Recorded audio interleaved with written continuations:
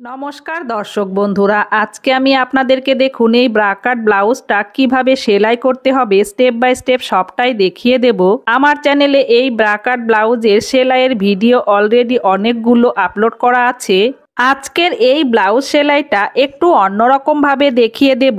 দেখুন, আমি ছোট ছোট কিছু টিপস দিয়ে দেব।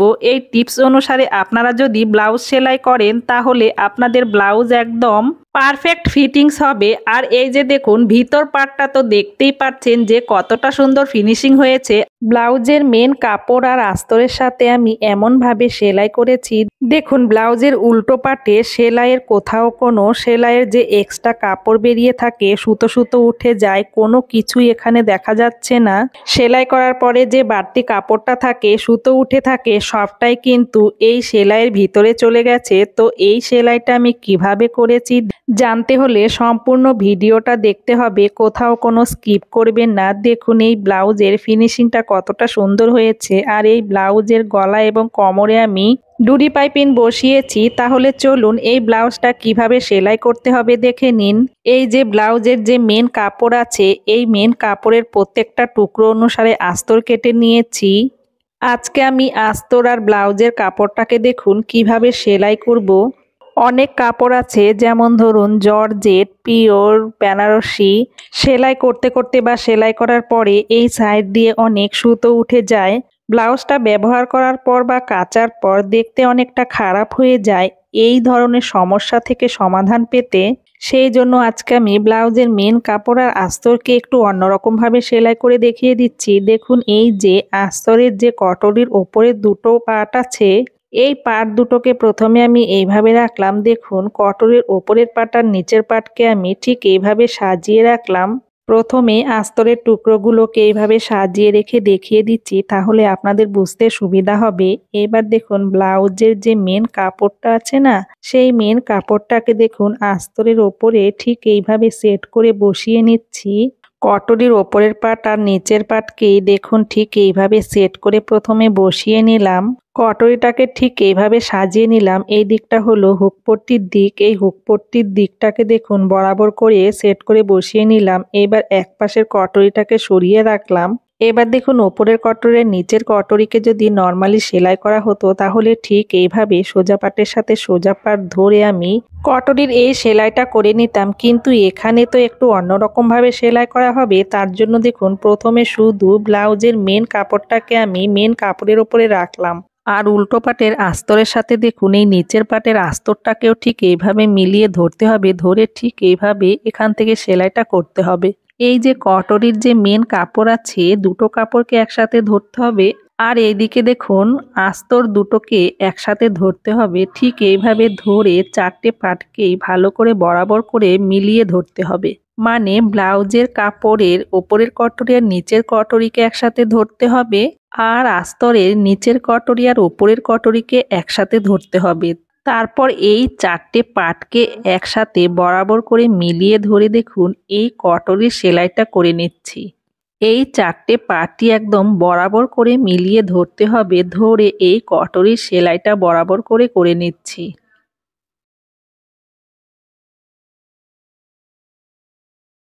কটনের সেলাইটা করা হয়ে গেছে, দেখুন, সেলাইটা দেখতে ঠিক এইরকম হয়েছে। আর এই দিক দিয়ে দেখুন সেলাই করতে করতে এই দিক দিয়ে সুতো উঠে যাচ্ছে। সুতো ওঠা, সেলাইয়ের বাড়তি কাপড় ঢাকতে কি করতে হবে দেখুন। এই আস্তরটাকে দেখুন, এই নিচের কটরির পিছন পাটের দিকে নিয়ে আসতে হবে। নিচের কটরির উল্টো পাটের দিকে, নিচের কটরির আস্তরটাকে দেখুন, ঠিক এইভাবে মিলিয়ে ধরতে হবে। এই যে দুটো কটরি সেলাই দিয়েছি, সোজা পাটটা দেখুন, ঠিক এইভাবে বরাবর মিলিয়ে নিতে হবে। এইবার কটরির উল্টো পাটটার দিকে দেখুন, ঠিক এই রকম হয়েছে। কটরির মিডিলের যে সেলাইয়ের বাড়তি কাপড়টা ছিল, সেই বাড়তি কাপড়টা একদম সম্পূর্ণটা আস্তরের ভিতরে ঢাকা পড়ে গেছে। কটরির সোজা পাট আর উল্টো পাটের ফিনিশিংটা দেখুন, একদম সেম হয়েছে। এইবার কটরির চারপাশ ঘুরিয়ে দেখুন, আস্তর আর ব্লাউজের কাপড়কে একসাথে করে চারপাশ ঘুরিয়ে সেলাই করে নিচ্ছি।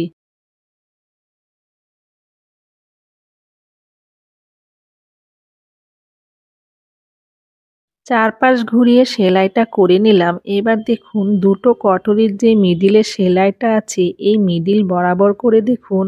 ঠিক এইভাবে কটরিটাকে ভাঁজ করতে হবে। এই যে সেলাইয়ের মুখ দুটো একদম বরাবর করে মিলিয়ে ধরতে হবে, ধরে মিডিল থেকে একটা টিকেন দিতে হবে।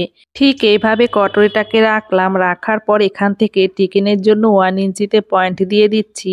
আপনি এখানে একটু কম বা বেশি দুটোই রাখতে পারেন। এবার এখান থেকে দেখুন, পৌনে এক ইঞ্চিতে পয়েন্ট দিয়ে দেবেন। দিয়ে এই পয়েন্ট অনুসারে টিকেনের পয়েন্টটাকে ঠিক এইভাবে কোনা করে দাগ কেটে নিলাম। কোনা করে যে দাগ কেটেছি, সেই দাগ অনুসারে টিকেনের সেলাইটা করে নিচ্ছি। টিকেনের সেলাইটা করে নিলাম। দেখুন, কটরির শেপটা কতটা সুন্দর চলে এসেছে। এই কটরির সাথে এবার সাইড পার্টটা সেলাই করতে হবে। সাইড পার্টটা সেলাই করার জন্য দেখুন সাইড পার্টের আস্তরটাকে এইভাবে বরাবর করে মিলিয়ে ধরে নিলাম। এইবার সাইড পার্টের মেন কাপড়টাকে দেখুন, আস্তরের ওপরে রাখলাম। রাখার পর আর এই যে সাইড পার্টের যে এই চওড়ার দিকটা আছে, এই চওড়ার দিকটা ফিটিংসের দিকে থাকবে আর ওই সরু দিকটা গলার দিকে থাকবে।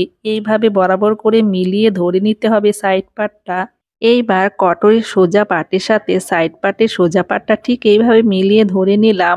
আর উল্টো পাটের এই আস্তরের সাথে সাইড পাটের আস্তরটাকেও ঠিক এইভাবে মিলিয়ে ধরে নিলাম। ঠিক যেমন কটরি সেলাই করার সময় চারটে পাটকে আস্তরের সাথে আস্তর আর ব্লাউজের কাপড়ের সাথে ব্লাউজের কাপড় ধরে সেলাই করেছিলাম। এখানেও সেমভাবে দেখুন।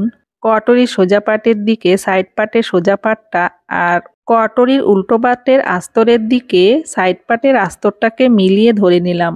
ঠিক এইভাবে চারটে পাটকে দেখুন বরাবর করে মিলিয়ে ধরে নিচ্ছি, ধরে নিয়ে এখান থেকে সেলাইটা করে নিচ্ছি। কটরের সাথে সাইড পাটটা যেভাবে সেলাই করা হয়, সেমভাবে সেলাই করে নিচ্ছি। এখানে শুধু চারটে পাটকে বরাবর করে ধরে নিচ্ছি, ধরে নিয়ে ধীরে ধীরে এই সেলাইটা করে নিচ্ছি।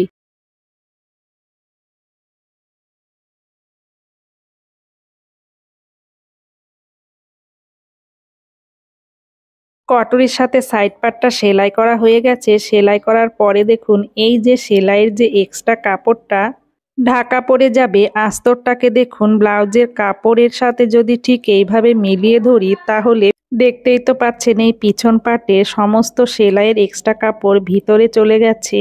এইবার ব্লাউজের কাপড় আর আস্তরের সাথে সাইড পাটটা চারপাশ ঘুরিয়ে সেলাই করে নিতে হবে।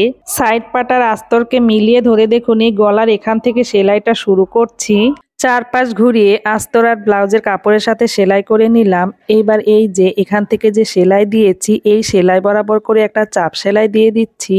সেলাই বরাবর করে চাপ সেলাইটা দেয়া হয়ে গেছে। এইবার নিচের বেল্ট সেলাই করে নিব। বেল্ট সেলাই করার জন্য দেখুন, কটরির যে সেলাই দিয়েছি, এই সেলাইয়ের জয়েন্টের এখান থেকে ওয়ান ইঞ্চি নিচে একটা পয়েন্ট দিচ্ছি।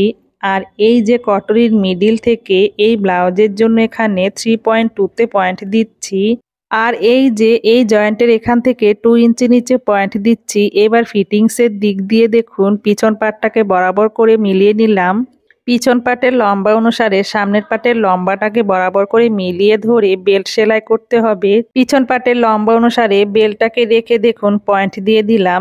এইবার এই যে পয়েন্ট দিয়েছি, পয়েন্টগুলোকে ঠিক এইভাবে মিলিয়ে দিচ্ছি। পয়েন্টগুলোকে মিলিয়ে দিলাম। এই যে সোজা পাটের যে পয়েন্টগুলো দিয়েছি, এই পয়েন্ট অনুসারে দেখুন, আমি পিছন পাটে পয়েন্ট দিয়ে দিচ্ছি। ব্লাউজের উল্টো পাটে ঠিক এইভাবে পয়েন্টগুলো দিয়ে দিচ্ছি, তাহলে কি হবে? বেলটা যখন সেলাই করব, এই পয়েন্ট অনুসারে বরাবর করে বেলটা সেলাই করতে গেলে সুবিধা হবে। ব্লাউজের সোজা দিকে যেইভাবে পয়েন্টগুলো আছে, সেই পয়েন্ট অনুসারে দেখুন, উল্টো পাটের দিকে প্রথমে আমি এইভাবে পয়েন্ট দিয়ে দিলাম। পয়েন্ট দেওয়ার পরেই পয়েন্ট অনুসারে দাগগুলোকে মিলিয়ে নেব। আজকের এই ব্লাউজটা একটু অন্যরকমভাবে সেলাই করছি, সেই জন্য এইভাবে পয়েন্ট দিয়ে দাগ কেটে নিচ্ছি, তাহলে নিচের বেলটা সেলাই করার সময় সুবিধা হবে। সেই জন্য আমি এইভাবে পয়েন্ট অনুসারে সামনে এবং পিছনে সেমভাবে দাগ কেটে নিলাম।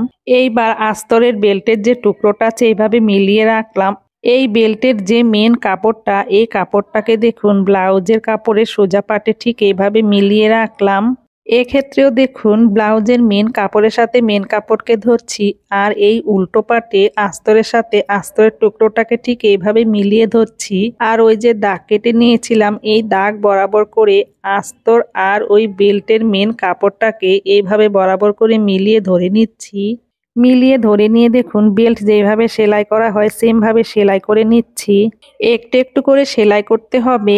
আর ওই যে উল্টো পাটের মেন কাপড়টাকে আর এই দিকের আস্তরটাকে বরাবর করে সেলাইটা করে নিচ্ছি। আর এই যে এখানে টিকেনের যে এক্সট্রা কাপড়টা আছে, এই টিকেনের এক্সট্রা কাপড়টাকে ঠিক এভাবে ওপর দিকে একটু কোনা করে ভাঁজ করে রেখে দেখুন, আবারও বরাবর করে বেল্টে সেলাইটা করে নিচ্ছি। সেলাইটা করে নিলাম, আর এই যে এখানে যে সাইড পার্টের নিচে কতটা এক্সট্রা কাপড় রয়েছে, এই এক্সট্রা কাপড়টাকে কেটে বাদ দিয়ে দিলাম। এইবার আস্তর আর মেন কাপড়কে যদি এইভাবে মিলিয়ে ধরি, তাহলে দেখুন সমস্ত সেলাইগুলো ভিতরে চলে গেছে। এইবার সামনের পাটের বেল্টের ওপরে এখানে ঠিক এইভাবে একটা চাপ সেলাই দিয়ে দিচ্ছি। আজকে আমি আপনাদেরকে যেইভাবে এই ব্রাকার ব্লাউজ সেলাই করা দেখিয়েছি, আস্তরার ব্লাউজের কাপড়ের সাথে, এইভাবে সেলাই করতে গেলে একটু সময় লাগে, কিন্তু ব্লাউজের ফিনিশিং কিন্তু সত্যি ভীষণ ভালো আসে। দেখুন, বেল্টের নিচে যে আস্তরার ব্লাউজের কাপড়ের সাথে খোলা জায়গাটা দেখেছেন, চারপাশ ঘুরিয়ে সেলাই করে নিয়েছি। আর এই যে দেখতেই তো পাচ্ছেন, ব্লাউজের উল্টো পাটের সেলাইয়ের ফিনিশিংটা কতটা সুন্দর হয়েছে। কোথাও কোনো রকমের সুতো ওঠা বা সেলাইয়ের এক্সট্রা কাপড় বেরিয়ে নেই, সবটাই আস্তরের ভিতরে চলে গেছে। উল্টো পাটের ফিনিশিং আর সোজা পাটের ফিনিশিং একই রকম হয়েছে দেখতে। এই যে ব্লাউজের একটা পাট আমি যেভাবে রেডি করে নিয়েছি, সেমভাবে দ্বিতীয় পাটটাও রেডি করে নেব। দেখুন, দ্বিতীয় পাটটাও রেডি করে নিয়েছি। দ্বিতীয় পাটের ফিনিশিংটা একদম সেম হয়েছে। উল্টো পাটের দিকে দেখুন, কোনো রকমের সুতো ওঠা বা সেলাই দেখা যাচ্ছে না। ফিনিশিংটা ভীষণ ভালো হয়েছে। দ্বিতীয় পাটটা রেডি করার পর হুকপট্টি আর আইপট্টি সেলাই করে নেব। দেখুন, আমি সবসময় যেভাবে হুকপট্টি আর আইপট্টি সেলাই করে থাকি, এখানে সেমভাবে হুকপট্টি আর আইপট্টিটা সেলাই করে নিয়েছি। এই যে দেখুন, দুটো পাটের হুকপট্টি আর আইপট্টির দিকটা একদম বরাবর মিলে গেছে। এইবার পিছন পাটের সাথে সামনের পাট সেলাই করে নেব। তাহলে দেখুন, পিছন পাটের সাথে সামনের পাটটা কীভাবে সেলাই করতে হবে।